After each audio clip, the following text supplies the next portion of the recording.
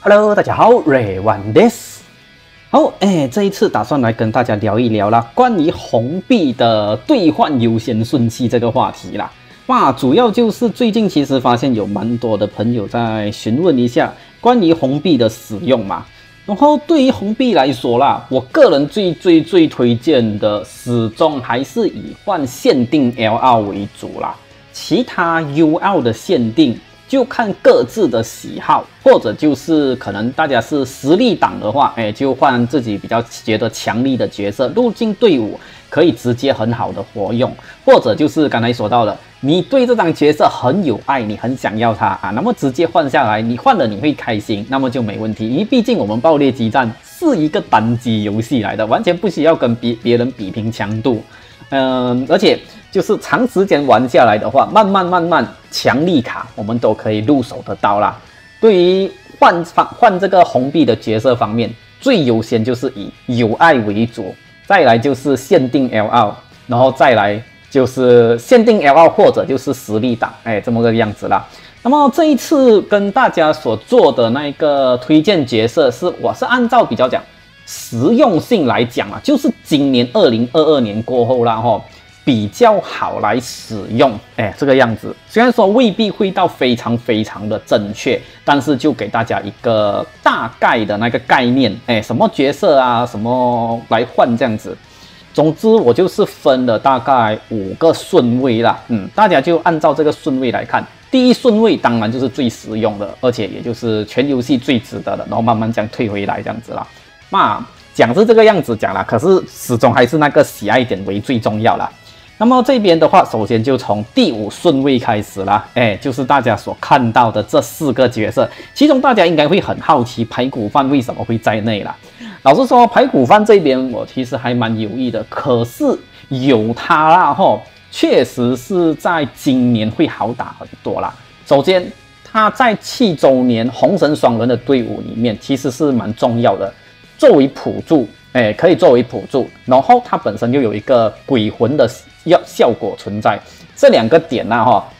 都是用来打现金的关卡，非常非常有用的。尤其是那个鬼魂的效果，像当初嘛，就是布罗利七周年刚刚推出的时候，这一个排骨饭带来的帮助就已经非常大了。然后去到其他可以回避的关卡，它的实用性又更加的高，所以我会把它安在第五顺位啦，就是。一二三四顺位的角色大家都有，然后对于过过难关，或者就是说可能第七周七周年的红神双人队又觉得好像会缺了一个角色，哎，那么这张排骨饭大家是可以考虑的。然后再来的话就是十七十八号啦，技术这一张，这一张的强度其实是没什么好说的啦，本身就是一回合没有任何条件的鬼魂效果，哎，这个就是超级有有效了嘛。然后它本身的个体能力。个体性能呢也是非常的高，因为赤足强化，再加上本身自带转珠，哎，这个是很棒。最后还有就是气弹系无效，哎，这个是虽然有一点点的小条件，需要血量三十五帕以上，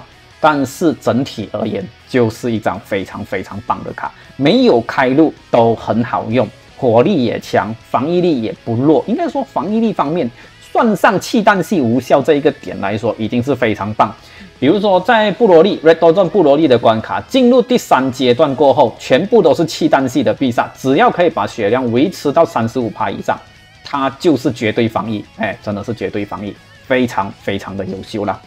好，哎，这两张是第五顺位的其中两张，然后另外两张的话是二零二一年末双卡机的变身超二。赌超山悟空，还有就是吉利的小普，这两张其实比较常用在就是作为队员的存在了，因为他们本身的队长机，悟空的队长机其实还不错，小普的队长机因为防御力只有一百三十帕的情况下，有时候使用起来会蛮辛苦的啊，有时候使用起来会蛮辛苦的。不过因为他们两张的本体都非常强，就算是没有开路。本身都是有自带连击，并且就是中确率必杀效果，哎，会会有机会触发到。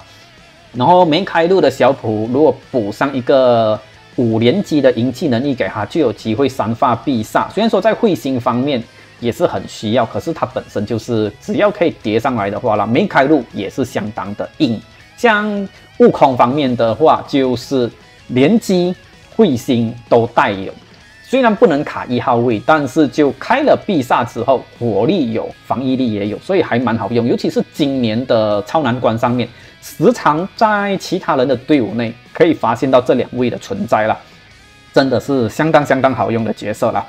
OK，这一边就是第五个顺位了。那么我们接着过去看一下第四顺位啦。第四顺位这边同样有四张卡，然后其中有两张是我没有的。黄金周的立父立交替父子跟速赛鲁速的变身赛鲁这两张其实我都觉得还蛮不错。首先，隶属的交替悟空的那个交替空就是交替悟空悟饭了。诶，懂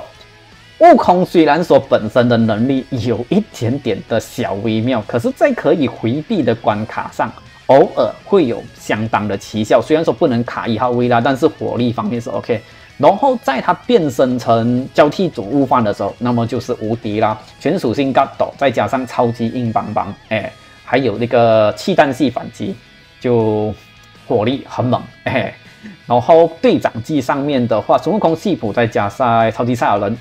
虽然说它的三十趴那一边是比较微妙啦，人造人那个赛卢篇。会比较少角色，可是单单就孙家跟超赛就已经可以囊括非常多角色，相当优秀的队长技了。嗯，本身使用起来也算是 OK，但是没有开路会稍微吃力。然后至于速赛鲁的话啦，哈，同样就是优秀的队长技，而且在人造人的那一个篇章里面呢，哈，他的队长技目前应该是最强的啦，哎。然后再来就是它本体的本体的战力也是非常的强啦，就是有自带连击、自带彗星，就是变身到最完全体的时候，虽然说需要一点点的时间给它变呐，但是就非常棒。整个队伍的结构也是可以强，像刚才有提到的隶属的小普都可以进他的队伍内，人工生命体嘛。哎，虽然说吃不到两百趴，可是就算只有一百七十，哎，那个是荔枝细手手力，不是人工生命体，是荔枝细手。我糟糕，我有点小忘记掉那个普乌的那个，哎，不是普乌啊，赛鲁的队长技。可是他的队长技下囊括的角色是非常多了，然后本体也是非常强啊。现在对于速赛鲁本身而言，就只是缺了一张可以帮他卡一号位的角色。等这张角色出来的话，哎，速赛鲁的队伍会更加的完整啊。然后再来就是摩达嘛，摩达本身就非常的硬，然后他的队长技其实还不错。只要就是北极大系谱的角色，应该说北极大本身大部分都是有天才之天才战士这个这个类别，所以把完整的北极大组成两百趴队长机出来，而且他还可以进入支父子的队伍，然后跟支父子的连接也相当不错。那么支父子一号位，北极大二号摩达二号位这个 combination 非常的棒啊，都是硬邦邦的。开了必杀之后，哎。防御力高，然后吃了六颗珠，又可以达到五十帕的减伤，整体而言都非常棒。然后再加上他的主动技啊、登场动画，嗯，不管是在队长技上还是整体能力都是非常棒。不过也就只有到第四位、第四顺位了，因为用起来偶尔还是会比较少，因为可以代替他的角色还是有的。然后最后第四顺位，我会把克拉尼奖摆在这一边。其实这张克拉尼奖是非常非常非常的强啦，只不过因为就是它。已经极限这了，所以就是未来它的顶点就是这么个样子。除非官方再开极限这中的极限这啊这类的东西出来，那么它还有机会再更上一层楼。不过就以它现在的能力而言啊，已经是非常非常的棒啦。如果是有诶抽到 L L 克维拉的朋友，然后又没有抽到这一张，已经花了很多龙石不想再拼的话，可以考虑换一张下来。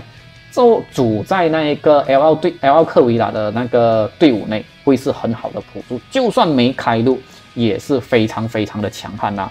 而且他的队长技也是不错，虽然说只有一百七十趴，可是恐怖的征服再加变身强化，可以组到很多很强力的角色。像我之前嘛，不是有拍了一部，就是极细无属性的挑战，就是那个任务嘛，打那个最新的 Red Dawn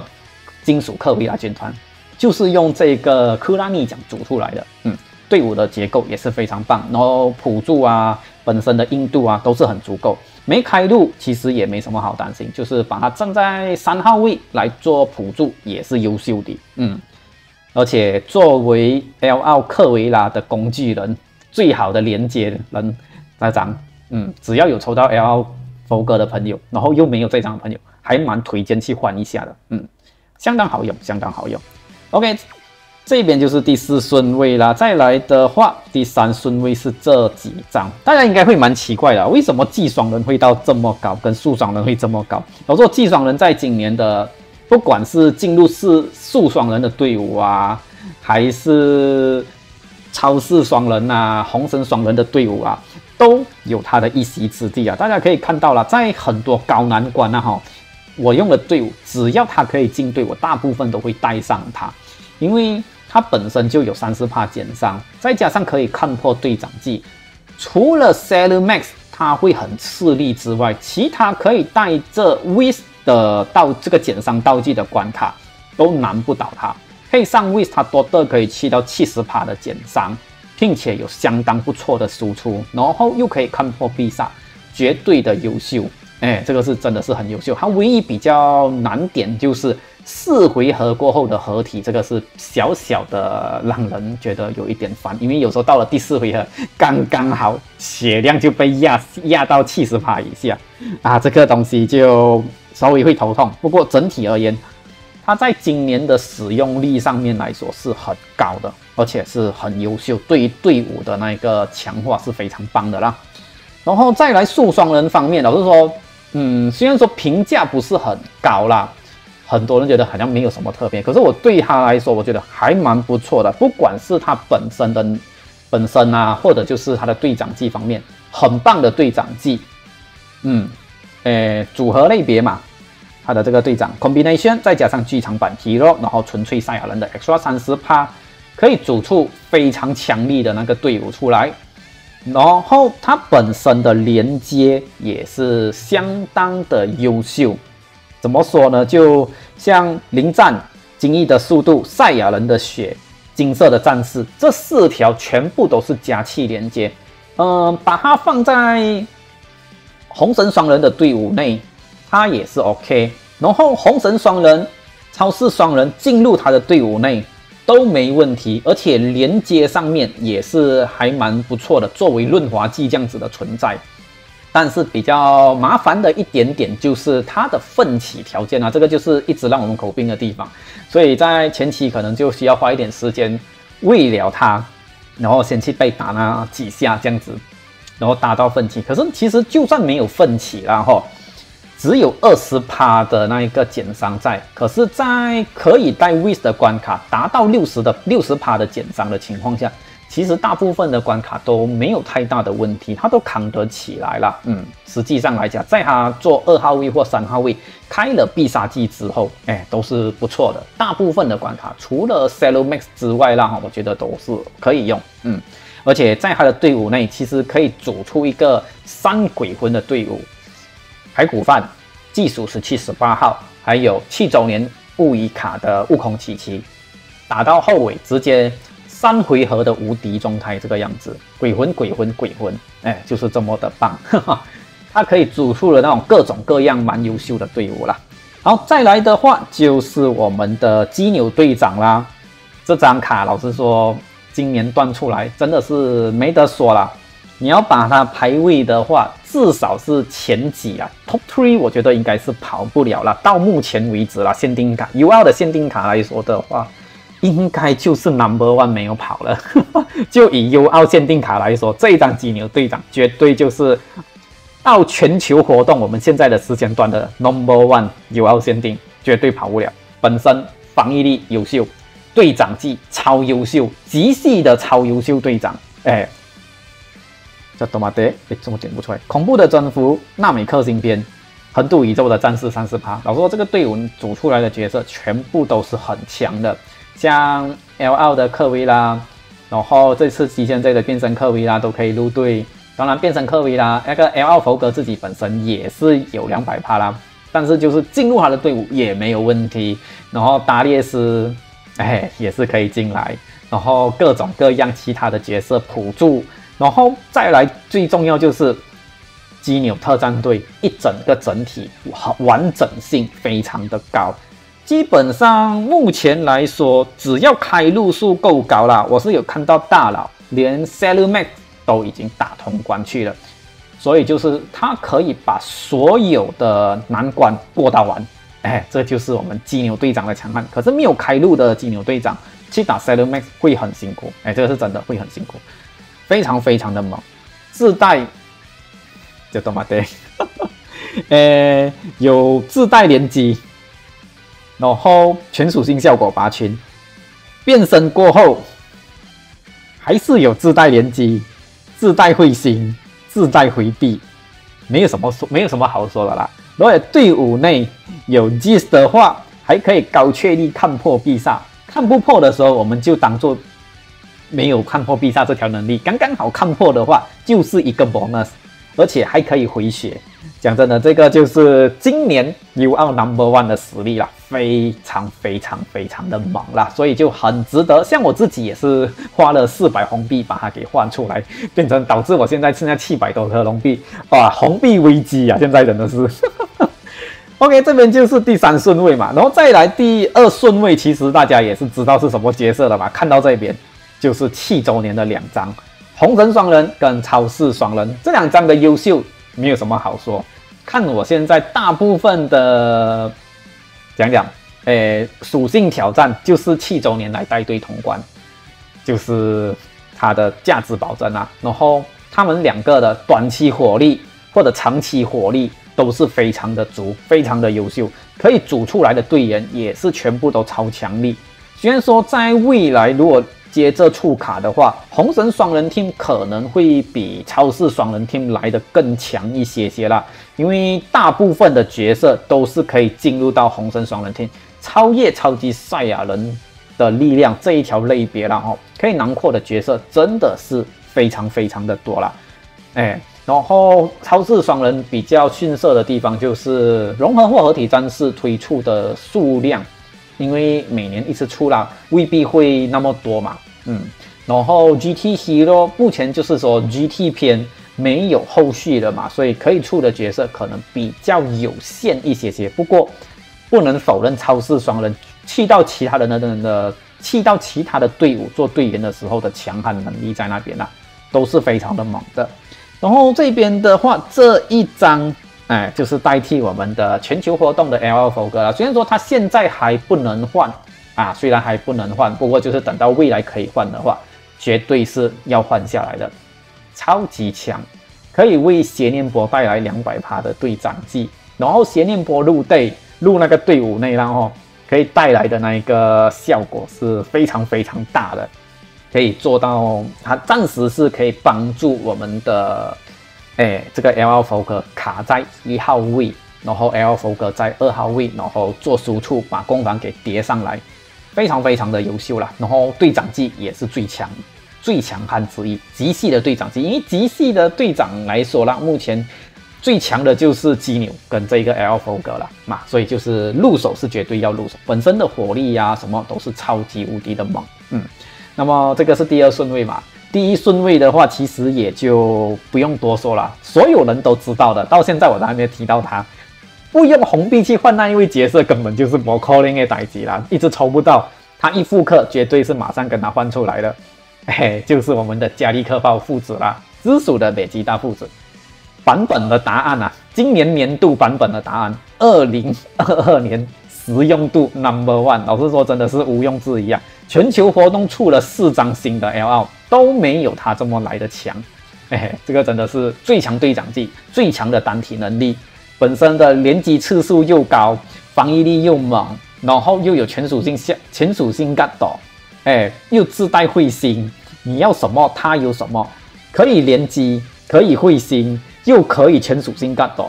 目前我们觉得单体实力来说有用的能力，他全部都有，哈。而且必杀上面有用的能力，无限叠攻防，它也有，所以根本就没有什么太大的缺陷。我看直接一路这样用下去啦，大概可以有当年力双人的那种感觉啊，连续自霸一两年这样子，然后等到一两年过后，就是关卡通膨到它的全属性干斗，它的叠防速度跟不上通膨的那个加速的时候。他才会被淘汰下来，要不然的话，他一直都是可以打到一一线上。然后他的队长记亲子之判，哎，什么亲啊？亲子之判未来篇，然后呃命赌上命运的决斗那个 extra 三十趴，这个两百趴的队长记，就是也算是最强的队长记之一。像那个亲子之判里面的角色有多么的多，其实大家就可以想象啦。只要是悟空跟北极大。大部分都会在里面，哎，就是这么个样子。然后悟空跟北极大的强度，大家都是不用怀疑的。未来只要是出他们就是强，哈哈。所以队员也只会越来越强。而且像七周年的红神双人、超市双人，像那个呃这一次那个船降记的小鸟悟空啊。全部都是可以进他的队，虽然未必是全部可以吃得到那一个两百趴队长技，就算是只有一百七十趴，有他帮忙卡在一号位，后面的好好的输出，哎，都是够的了。还有就是最新剧场版的那一个乌饭嘛，白头发的那个乌饭是吧？哎，他到时候出来了哈，亲子之判跟赌上命运决斗这两条类别也一定会有，因为 s a l Max 的。那个关卡里面的那个赛德麦的角色类别里面有赌上命运的决斗，所以悟饭到那个时期也是会有了，所以他的一个强力未来会有的强力队员，我们已经可以预想到也是可以入队，所以这一个是最强的队长机，最强的角色，哈哈，今年度了，到目前为止二零二二年，而且我们的限定 L 五张，今年的五张已经出完了，然后他依然是最强。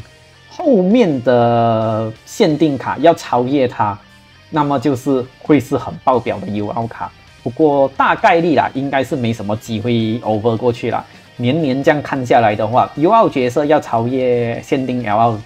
是不太容易。就是说，今年度的 Number One 要超越过今年 Number One 的限定 L 是不容易的。所以这一个今年度最强就是它了，毋庸置疑。明年三一八我们就。应该说就是他的首次复刻的时间点啦。没抽到的朋友就是准备好五百颗红币，放着等。国际版的朋友十一月份它就会出来，要抽不抽就看大家自己，嗯，自己决定。可能就是等到明年三一八直接用红币换。如果是比较想要马马上享受，就存一点龙丝，至到时候直接直接跟他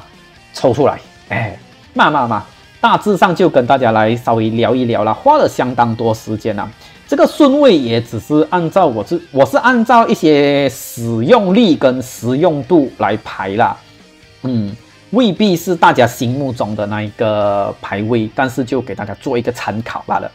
五、四、三、二、一，好，就是这么个样子，给大家稍微了解一下。那么这一次的影片也就到此结束啦，希望有办法帮到大家一些些，嗯，怎样去花那个红币。在犹豫的时候有一个参考这样子，那么感谢大家的收看，加马团呢。